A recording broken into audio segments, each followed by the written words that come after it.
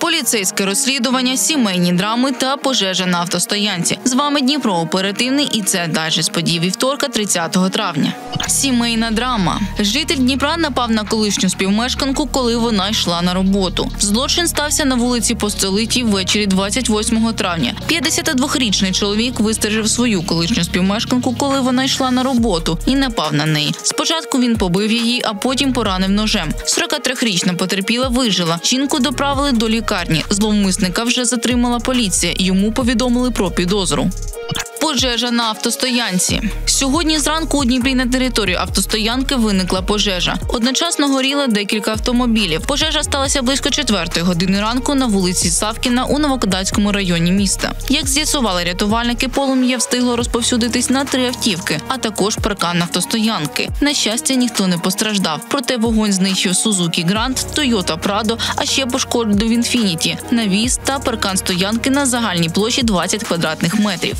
Поліцейське розслідування заволоділи 100 тисячами гривень на ремонт службового авто. На Дніпропетровщині підозрюються поліцейські та представники товариства. У грудні 2022 року між ГУНП Національної поліції в Дніпропетровській області та товариством укладено договір щодо поточного ремонту службового автомобіля. У подальшому поліцейські одного із управлінь та представник товариства внесли недостовірні відомості до офіційних документів про виконання ремонтних робіт, які фактично не проводились. На рахунок товариства безпідставно перераховано майже 100 тисяч гривень, якими підозрювані розпорядилися на власний розсуд. Наразі вирішується питання щодо обрання їм запобіжних заходів та відсторонення від посади правоохоронця.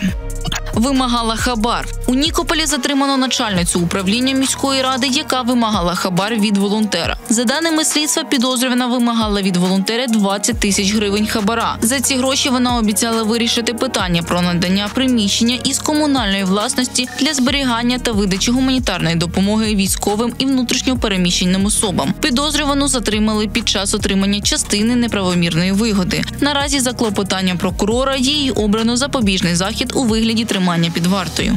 Хвилинка добра. Вчора до патрульних звернулися мешканці одного будинків на вулиці Софії Ковалевської. Люди розповіли, що під одним із автомобілів у дворі сидить воронення. Воно не може літати і може стати легкою здобиччю для тварин чи загинути під колесами авто. Патрульні змогли дістати птаха з під автомобіля та відвезли його до ветклініки. Фахівці оглянули птаха. З'ясувалось, що в нього травмовані кінцівки, тож йому нададуть необхідну медичну допомогу.